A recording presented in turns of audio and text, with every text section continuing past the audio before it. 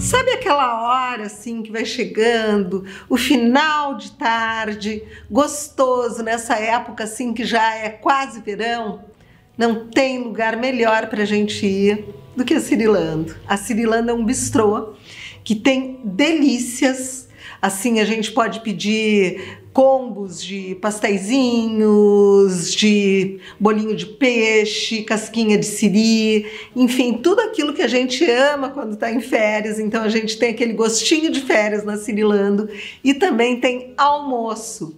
A Cirilando tem massas além dos, uh, dos frutos do mar, tem massas, tem um cardápio maravilhoso também, com filé. Enfim, a Cirilando é um lugar super gostoso aqui em Porto Alegre, que fica na Anitta Garibaldi, esquina com a Freire Alemão.